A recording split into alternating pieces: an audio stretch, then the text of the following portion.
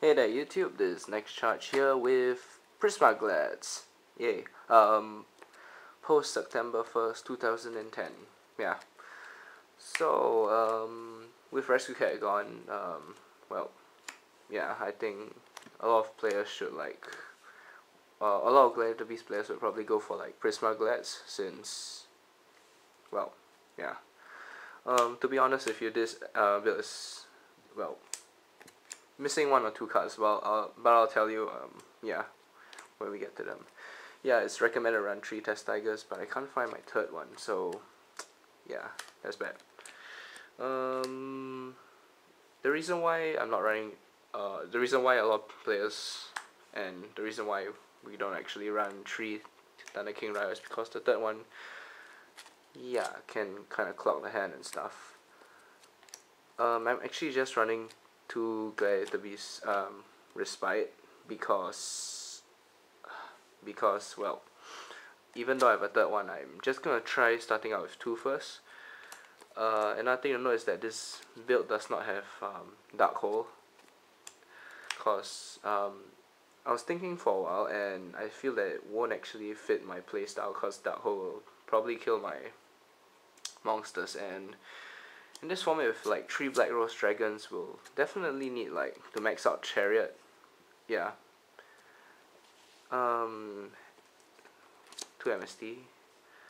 Oh there's like not much space on the mat. Yeah.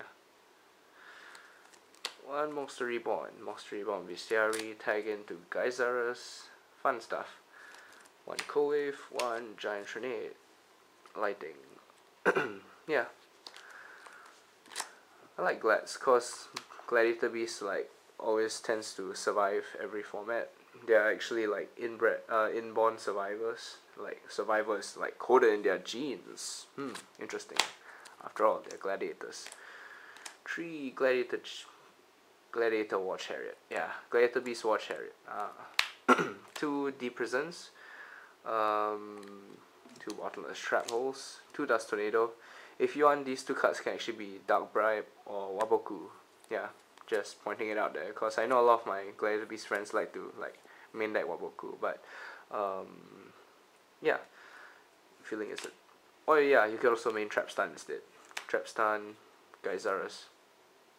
Trap Stun into Gyzarus is fun stuff. Uh, Trap Dustshoot, uh, Starlight Road, Solemn Judgment, and Mirror Force.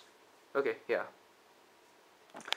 this is pretty much the well main overall structure. Now I'll actually go on to talk about what I think about the future or rather or rather um, gladiator beasts in the upcoming format. Where and if you want to know the extra deck is like just three Gyzarus and two Herac Heraklinos. Yeah, standard. Um, yeah, I think they'll still be pretty much surviving. But the problem is that due to no more heavy storm, that actually serves as a good thing for Gladiator Beast and Royal D Royal Oppression being limited also serves as a pretty good thing. um, I feel that if the format becomes like um, trap heavy format, um, I feel that that could could be a problem for Gladiator Beast. But then again, Gladiator Beast has excuse me um, well, sort of already adapted to that kind of playstyle. Um, let me think. well, with well, if you main three chariot, you shouldn't really have that much problem. And since you're main decking Starlight Road, which I can see a lot of well, I can see almost all Gladiator Beast players like main decking Starlight Road, which even happened in this format, which never mind, I'm making no sense. Sorry. okay. Um. Yeah. Uh, then you won't really have to fear for the OTK decks unless you have a really bad and sucky hand. Um, yeah, I was also thinking of main decking Gauss inside the build, but after some thought, um, nah, I think I'll focus on trying to find my third test tiger first. Yeah, so that's actually the deck. Um, hope you enjoyed it. Yeah. Thanks for watching guys. Take care.